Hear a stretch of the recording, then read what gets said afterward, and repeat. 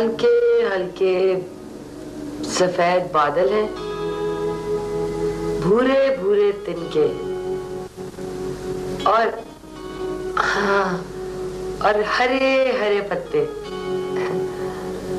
पर इनकी बदले कुछ नज़र नहीं आ रहा। क्या तुम्हें उन बादलों में एक नौजवान ही नज़र आ रहा?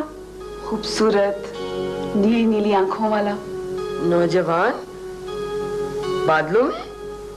नहीं, मुझे तो कहीं नहीं नज़र आ रहा। फिर कोशिश करो, गौर से देखो। ऊपर और ऊपर, उठते हुए बादलों से भी ऊपर, आसमानों से भी ऊपर। कोई शक्ल, कोई ह्योला? बस भूरे भूरे तिनके और ताज़ा ताज़ा फूल। अच्छा तुम सो रही हो। और गहरी और गहरी नींद। बहुत गहरी नींद। हाँ मैं बहुत गहरी नींद सो चुकी हूँ। तुम यहाँ मेरे पास कितने दिन ठहरोगी?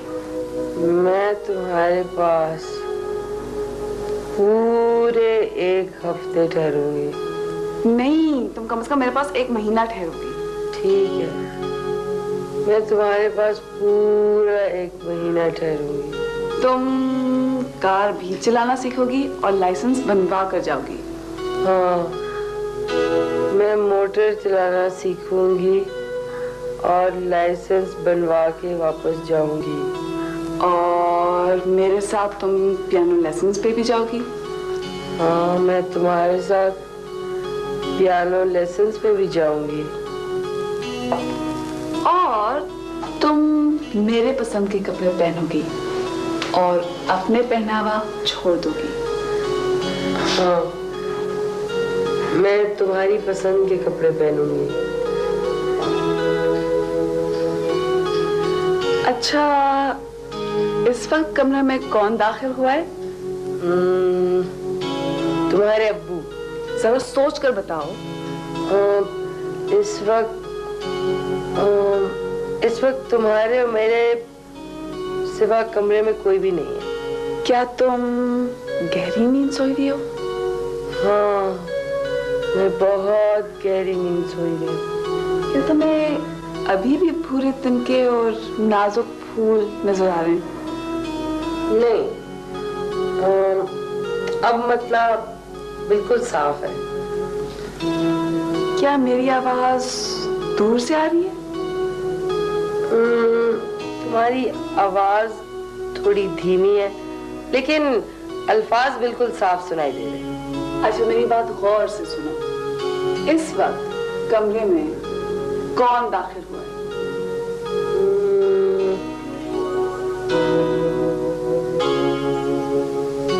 ड्राइवर। चीटर। अच्छा मुझे ये बताओ उसका नाम क्या है? मंजूर हुसैन जी। बेवकूफ़ तुमसे किसने पूछा है? मेरे ख्याल में उसका नाम मंजूर है। ज़ाहिर है। अच्छा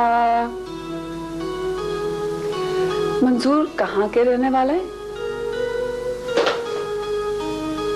मैं पूछ रही हूँ कहाँ का रहने वाला है? सोचो। और सोचो। नहीं। फ़िलहाल ये मेरे लिए बहुत मुश्किल है। तुम अपनी से बाहर आओ। आहिस्ता। आहिस्ता। होले। होले। इस दुनिया में इस कमरे में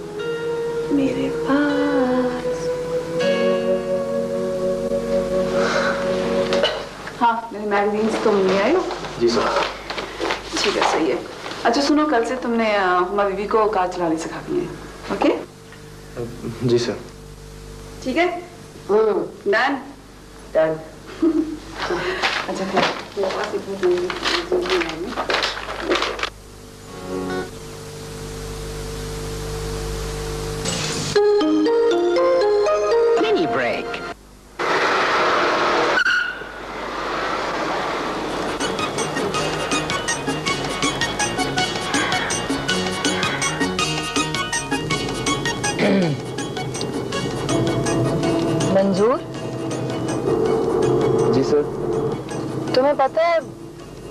औरतों को सर नहीं कहते हाँ सर पता तो है लेकिन आदत पड़ी हुई है। हम ड्राइवर लोगों को हर एक को सर ही कहना पड़ता है। तुम्हारे सिंध में सर को क्या कहते हैं? सर हम तो सही कहते हैं अदब के वास्ते। ठीक है फिर तुम भी मुझको साईं बुलाया करो। और आपको पता है सर कि औरतों को सही नहीं कहते? मुझे ये लफ्ज अच्छा लगता है। प्यारा लगता है। अगर आपको प्यारा लगता है सही तो हमको भी मंजूर है। अब ये तो हो गया फॉरवर्ड अब थोड़ा रिवर्स चलें सही नहीं आज नहीं। बस। ठीक है सही मंजूर? जी सही तुम्हें मलिक साहब के घर पे कितना अर्सा हो गया काम करते हुए? सही तकरीबन आठ साल का अर्सा तो हो ही गया उनके पास। पहले कहाँ मुलाजिम थे? पहले मैं ट्रक चलाया करता था सही। मैं हैदराबाद से जामशोर हूँ बिरशाह से कराची। ट्रक चलाना क्यों छोड़ दिया? सही उसमें चालाकी थी बेईमानी थी हेरा फेरी थी उसमें। तुम्हें बेईमानी और हेरा फेरी पसंद नहीं? पसंद तो है लेकिन इतनी ज़्यादा नहीं। मंजूर? सही। घर चले? जैसी आपकी मर्ज़ी सही। आराम से एक्सीलेटर को ओ हाँ सही अब आगे से लेफ़्ट के राइट अब सीधे हाथ को ले लें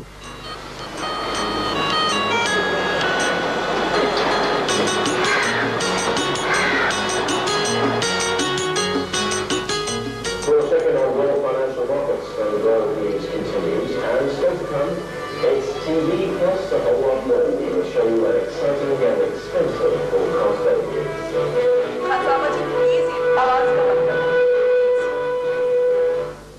TV का आवाज़ के बगैर क्या मज़ा जुएला जान मेरे बेटे? आपने वादा किया था अपू जी क्या वादा? वही कि मंगल और जुमे के रोज टीवी आवाज़ के बगैर चलेगा।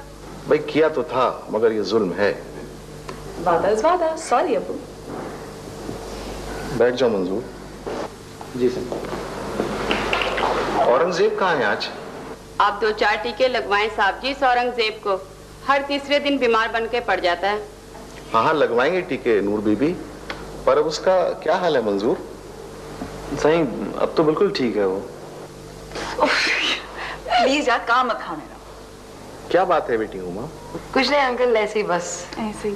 ये कह रही थी कि अंकल पे बड़ा जुल्म हो रहा है आवाज़ लगा लो। वैसे तुम्हारी दोस्त बहुत अच्छी है जुएला क्यों खान सामा मैं तो कहता हूँ जी इन्हें जाने ही ना दें।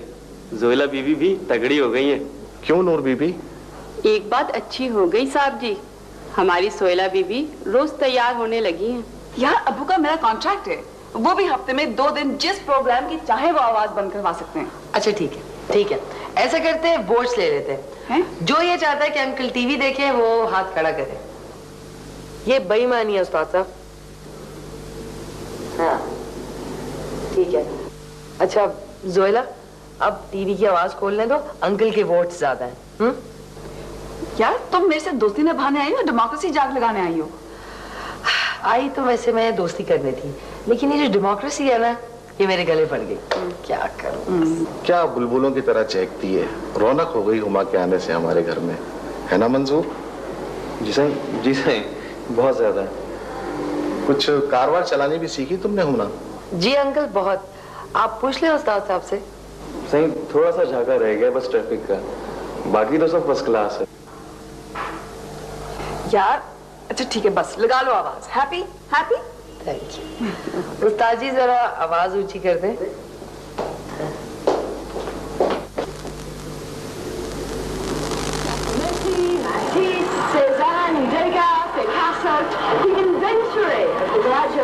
In Vegas just goes on. Twenty-one aces en to the easy straight sets when the Krychek take it six-four, six-three, and six-three. The Kenyans are searching for their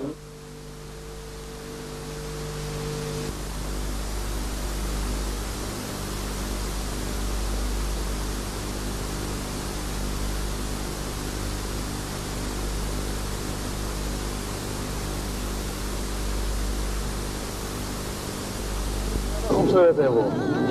पर अब बुढ़ी हो गई है। तीनों पर सत्तर बरस है उसकी। आप किसी और से भी इतना प्यार कर सकते हैं सर? माँ जितना? पता नहीं साईं। ये तो अल्लाह साईं को पता। आदमी क्या कह सकता है? आप मुझे हुमा कहा करें सर? मुश्किल है साईं। मेरा नाम मुश्किल है या आप लेना नहीं चाहते। दोनों बातें। साईं जब इंडिकेटर देना हो ना तो थोड़ा पहले दे दिया करें। इससे पीछे आने वाले को तकलीफ़ नहीं होती है। आपको पीछे आने वालों का बड़ा ख्याल रहता है। सबका ख्याल रखना चाहिए सही। आगे जाने वालों का पीछे आने वालों का। अगर आदमी अपना ही ख्याल रखे ना साईं तो गाड़ी नहीं चलती। सर आप मेरे साथ चलेंगे? पिंडी हमारे घर। आपके घर? वहाँ वहाँ रहने के लिए मेरे साथ हमेशा हमेशा के लिए। फिर हम आपकी वालदा को भी बुलवा लेंगे। मैं उनका मैं उनका बहुत ख्याल रखूँगी। आप जैसा कहेंगे वैसे उनका ख्याल रखूँगी। उनको उनको कभी कोई तकलीफ़ नहीं होगी। मेरा ख्याल है मैं वापस चलना चाहिए साईं आपने आपने मेरी बात का जवाब नहीं दिया। साईं वो मलिक साहब को एक मीटिंग में जाना था। उनको गाड़ी की ज़रूरत होगी। मेरा ख्याल चलते हैं चलते हैं वापस घर। जी अम्मी मैं बिल्कुल ठीक हूँ। हाँ आपको बहुत मिस कर रही हूँ। ठीक है मैं फिर आपको कल फ़ोन करूँगी। ओके बाय बाय खुदा हाफिज। हाँ thank god okay satisfied hmm अच्छा अब ऐसे करते हैं कि हम शॉपिंग के लिए निकलते हैं। गुड आइडिया ठीक है बेट अपने सारा चेंज करके आ जाऊँ पहले। अच्छा ऐसे ही चल अच्छा नहीं सॉरी थैंक यू अच्छा ओके क्या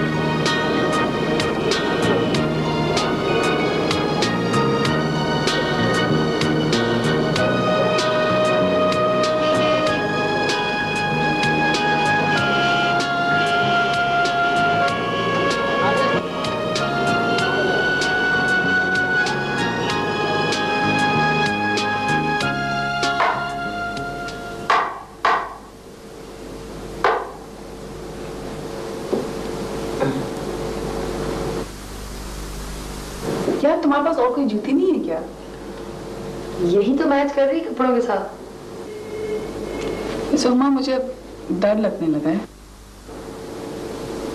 किस बात से?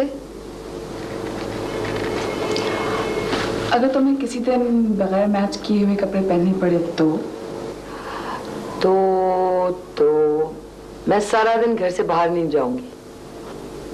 और अगर तुम्हारा शौहर तुमसे नहीं मैच करता तो?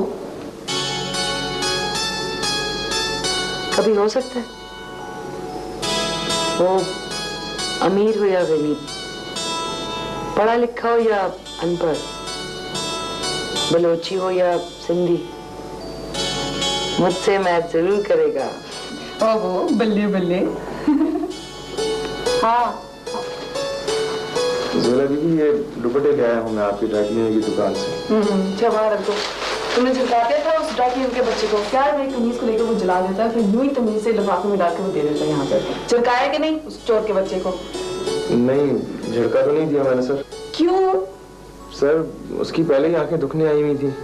प्लीज़ मंसूर ज़्यादा रहम दिली मत क्या करो। रहम दिल वालों के साथ दुनिया आमतौर पर सख्त दिली से पेश आती है। अच्छा सर जैसी दुनिया की खुशी। ये सर ग्यारह रुपए और रसीद। अच्छा सुनो वो कार कोच में निकाल दो आज मैं हुमा की टेस्ट लूँगी। प्लीज़ मुझे मरवा नहीं देना किसी खंबे से टकरा कर। तो हवा करें जोला बीबी? ये तो दो क्रॉस करते ट्रकों में दरमियान से गाड़ी निकाल के ले जाए और ट्रक वाले को खबर ही ना हो। सही ये क्या कर रही हैं आप? मुझे दिखाएँ मैं जरा एड़ी निकल गई हो ठीक कर लो। मुझे दें थोड़ी आप मुझे दें सही। बिल्कुल नहीं। करवा लो वरना खान सावंत जी को आवाज़ देना पड़ेगा। देखो सोहेला मंजूर मेरे उस्ताद हैं। मैं इनको अपनी जूती कैसे पकड़ा सकती हूँ? सही सही आप फ़िक्र ना करें कोई बात नहीं है। नहीं मंजूर।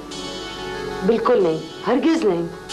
एक मिनट में ठीक हो जाएगी मुझे प्रैक्टिस है इसकी इधर दे सही चाहे सारी ज़िंदगी जख्म देती रहे। कभी भी तुमसे नहीं ठीक कराऊँगी। दे सही मुझे दे मैं ठीक कर कर। नहीं नहीं मैं कर लेती हूँ। मैं कर-। लेती हूँ हाँ। छोड़े सही आप छोड़े।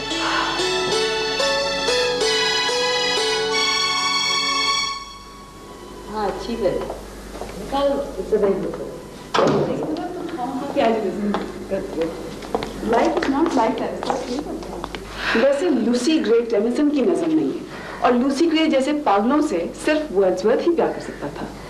टेरिसन ना सही वर्ड्सवर्थ सही। वैसे भी तुम्हें तो ऐसे सादा लोग पसंद ही नहीं जो नेचर के करीब हो। यानी कि अहमक लोग है ना? नहीं। जो चलाक चतर सियाने दुनियादार ना हो। अच्छा I am sorry excuse me miss लेकिन अगर आपको कभी लूसी ग्रे जैसे खातून के साथ रहना पड़े तो आपके भी शायद तीन घंटे पंद्रह मिनट और दो सेकंड में तुम्हारी पैम हो जाएगी। जोएला? जी अबू जरा टेप पकड़ना बेटा। अबू प्लीज़ वो अभी टाइटैनिक शुरू होने वाली है और अम, अच्छा मैं ऐसे करती हूँ मैं आपके पास औरंगज़ेब भिजवाती हूँ ओके औरंगज़ेब औरंगज़ेब! अरे बेटे हुमा। जी अंकल। जरा यहाँ आइएगा। देखिए क्या मेज़रमेंट है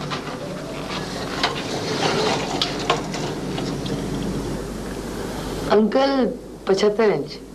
थैंक यू बेटा।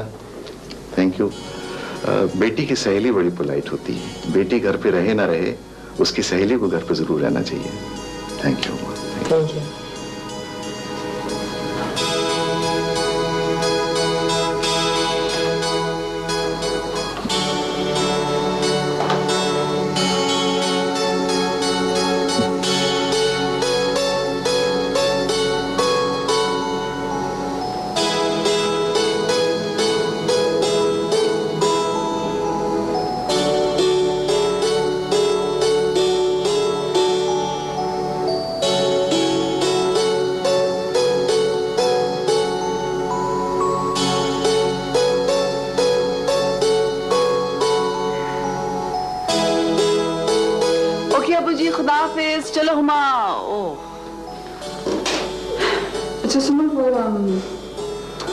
film के बाद मुझे तुमसे कुछ बात करनी है। किसके बारे में? मंजूर के बारे में। मुझे भी तुमसे कुछ बात करनी है। अच्छा? क्या? टोपी वाले के बारे में। चलो।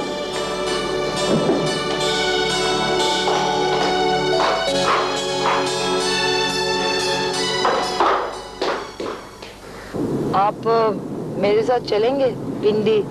हमेशा हमेशा के लिए। मंजूर में है। है। उसको भी लगता है बहुत अच्छी थी उसकी स्पीड अच्छा मुझे ये बता कि हम्म, असल चक्कर क्या है? मैं बस इस कदर जानती हूँ कि कि मुझे उससे मोहब्बत है। मैं उसकी खातिर दुनिया से मुँह मोड़ सकती हूँ। माँ बाप बहन भाई रस्म रिवाज ये माशरा सब छोड़ सकती हूँ। यार हुमा आर यू मैड तुम्हें कुछ पता है कि तुम क्या कह रही हो? हाँ मुझे पता है। मुझे पता तुम यही कहोगी कि कि वो गरीब है। ड्राइवर है। लेकिन ये तो सिर्फ़ वो कमज़ोरी हैं जो तुमने गिनवाई हैं।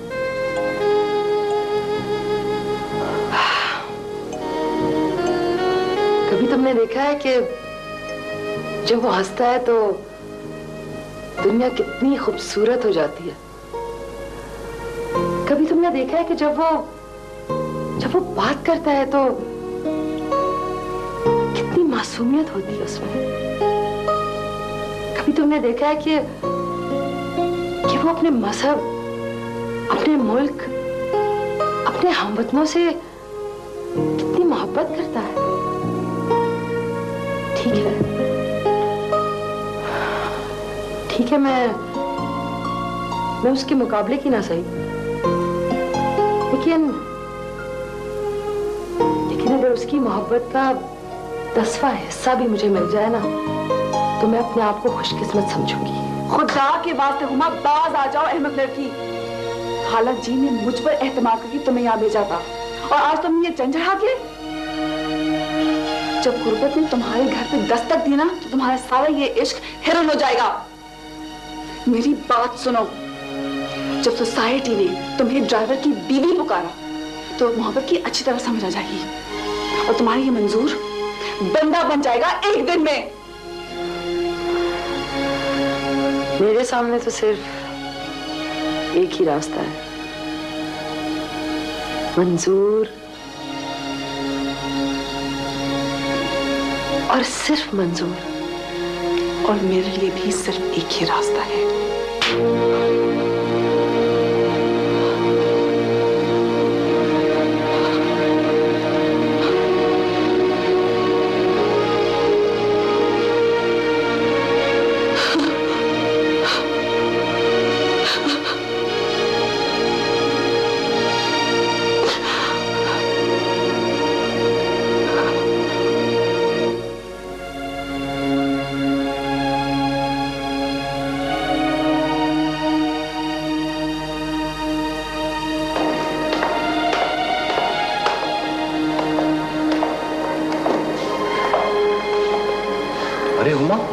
जा रही हो?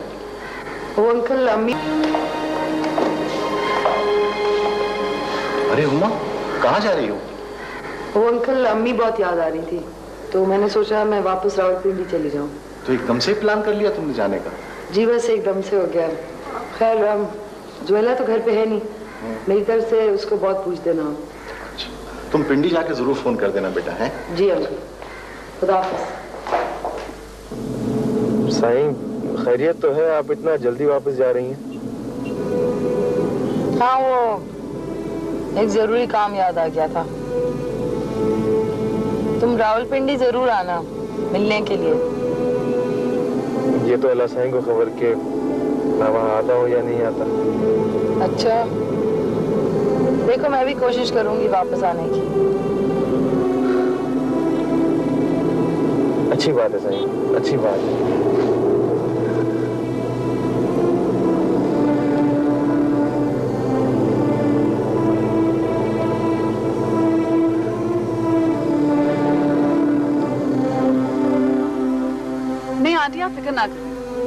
यहाँ से सिचुएशन हैंडल कर लूँगी आप मुतमईन हो जाएँ कुछ नहीं होगा। राफिज मंजूर मंजूर इधर आओ। जी सर। हाँ मेरी बात सुनो।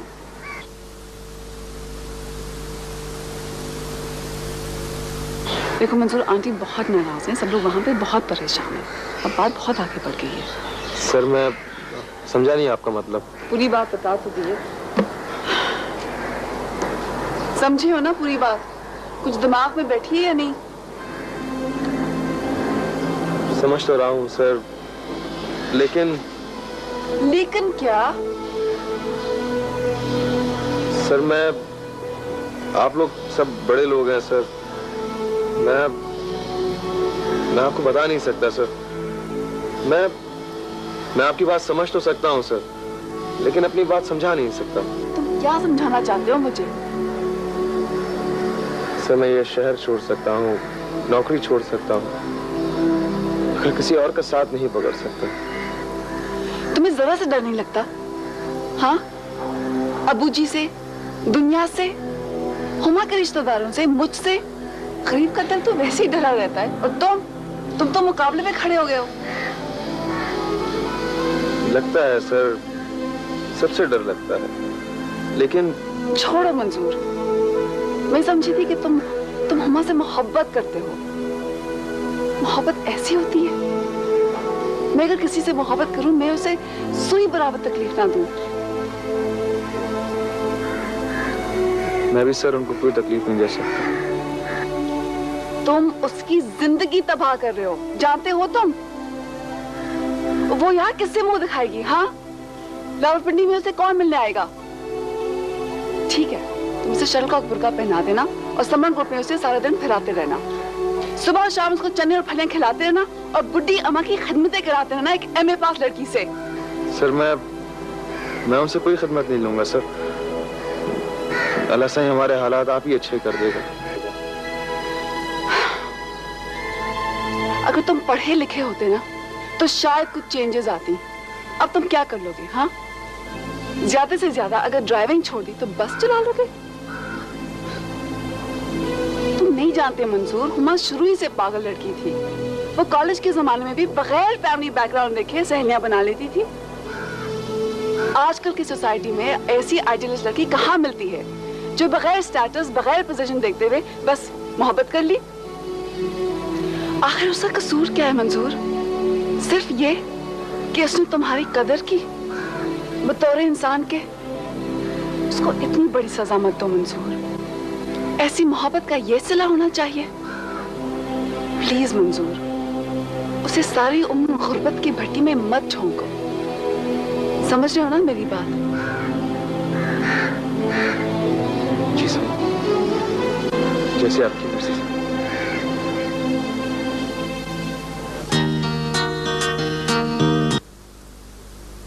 यानी ये कि तुम अपनी जिद से बाज नहीं आओगी और अपने फैसले पर कायम रहोगी। जी मामू जबकि तुम अच्छी तरह जानती हो कि हम अपनी खानदानी इज़्ज़त और वकार की खातिर तुम्हें खत्म भी करवा सकते हैं।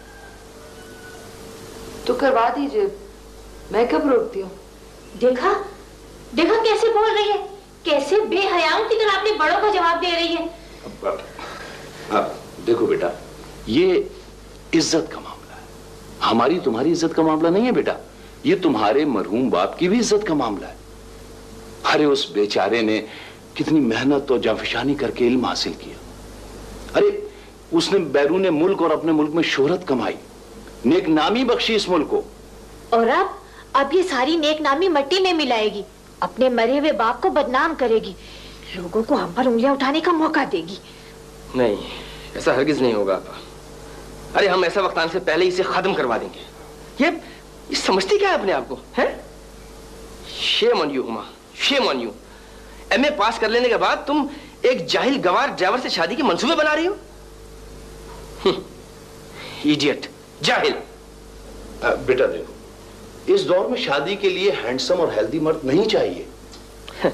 इस दौर में क्या भाई साहब कभी भी इन चीज़ों की ज़रूरत नहीं थी।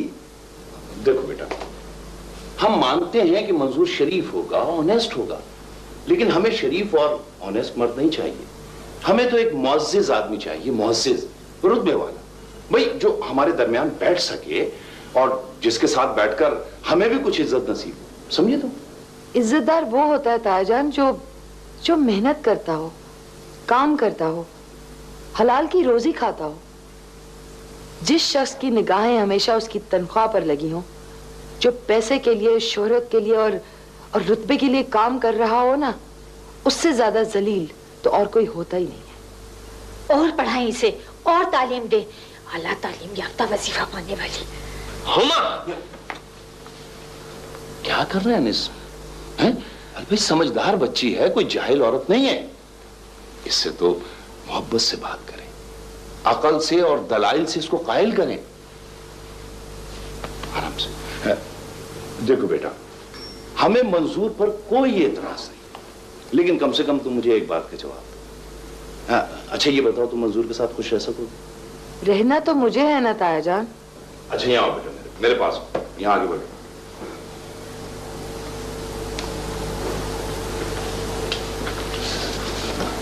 देखो उमा बेटा हमने तुम्हें जिस नाजो नेमत से पाला है ना और जिस माहौल में तुम परवान चढ़ी हो वहाँ मेरी समझ में नहीं आता कि तुम एक ड्राइवर के साथ बेटा कैसे गुजारा कर सको? और फिर तनख्वाह क्या होगी उसकी?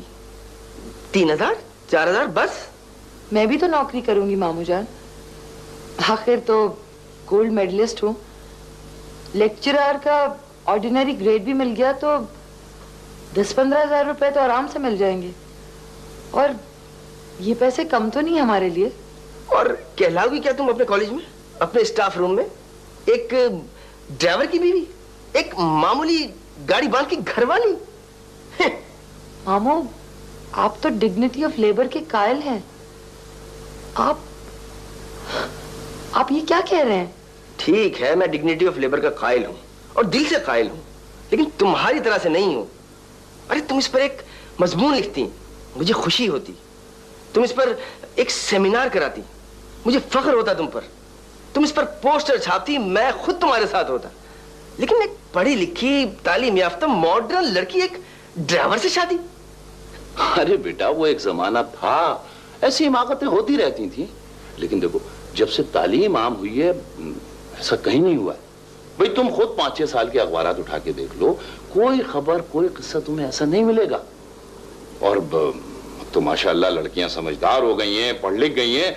और वो तो अपने बर ढूँढने में भाई अपने वालदेन की मदद करती हैं। बहुत सियानी हो गई हैं। मंजूर में खराबी क्या था आजान बेटा मंजूर एक ड्राइवर है एक नौकर है गुलाम है।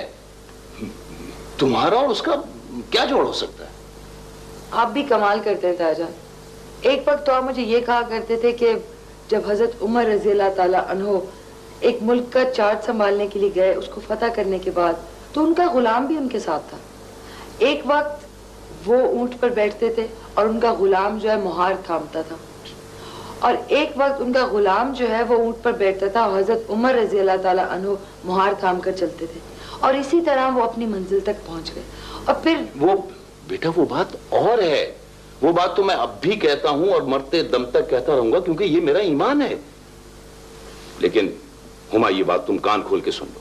कि मैं अपने खानदान के माथे पर बदनामी का टीका नहीं लगवा सकता समझे तुम?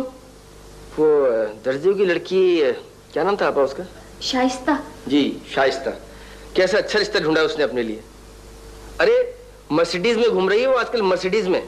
और साल में आपा दो चार चक्कर एब्रॉड के लगा के आती है। और एक ये है हमारी अहमक गोल्ड मेडलिस्ट मैं तो जीते जी मर गई ना भाई अनीस।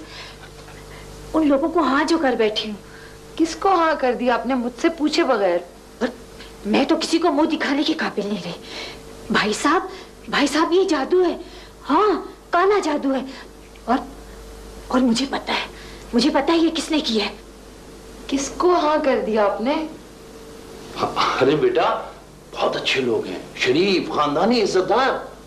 और लड़का? लड़का नहीं देखा भाई साहब आपने?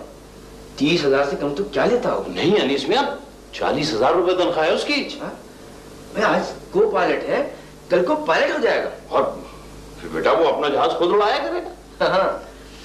अरे इस प्रोफेशन में बड़ी तरक्की है आपा। इस बेवकूफ़ को क्या मालूम? हमारे यहाँ के पायलट्स की बाहर के मुल्कों में बड़ी डिमांड है। अरे ये जादू बोल रहा है।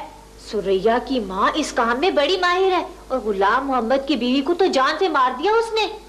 अच्छा तो आप लोग मेरी ज़िंदगी का सामान कर रहे हैं। हुमा बस बहुत हो चुकी। अब हम आगे कुछ नहीं सुनेंगे।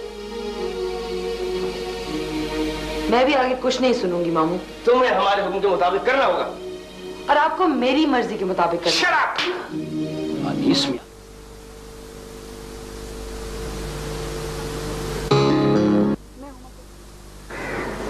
जैसे मैंने कहा तुम वही कहो। जैसे मैंने कहा तुम वही कहो। और अगर कुछ हो गया उन्हें तो? पढ़ी लिखी लड़कियाँ बहुत सख्त जान होती हैं। हमारे में और समन गोट की लड़कियों में बहुत फ़र्क है। कुछ नहीं होता होमा को। लो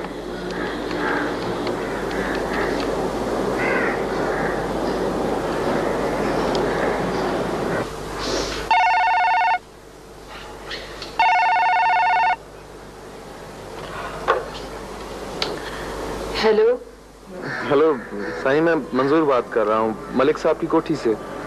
जी साईं मैं आपको खुद फ़ोन करने वाली थी। मैं आपको बताना चाहती थी कि मैं कितनी साबित कदम हूँ। आपको नहीं पता मुझ पे बहुत दबाव डाले जा रहे हैं। लेकिन मैं कब किसी की परवाह करती हूँ? साईं बात यह है कि साईं आप पिंडी ना आए। मैं खुद लाहौर आ रही हूँ। आपको यहाँ पे मुश्किल होगी। आप मेरी बात तो सुने ना साईं। एक एक मिनट। जी साईं। साईं मैं समनगोठ जा रहा हूँ। मेरी माँ ने बुलाया है मुझे। आप आप आप मेरे बारे में बताएँगे ना? आप बताएँगे ना कि मैं कैसी हूँ? ना साईं मजबूरी है। वो बात नहीं है साईं मैं अपनी माँ को राज़ी करने जा रहा हूँ साईं वो बूढ़ी है समझती नहीं है साईं समझती नहीं? वो वो अपने खानदान में मेरी शादी कराना चाहती है साईं आप शादी करने जा रहे हैं समन गोट? हाँ साईं आपको आपको अपनी माँ के अलावा किसी के दिल का ख्याल नहीं। सबका ख्याल है। साईं सबका ख्याल रखना चाहिए। आगे जाने वालों का पीछे रह जाने वालों का। अगर आदमी अपना ही ख्याल रखे ना सही तो गाड़ी नहीं चलती। आपको अपनी माँ के अलावा किसी से मोहब्बत नहीं है। सही है तो रब को मालूम।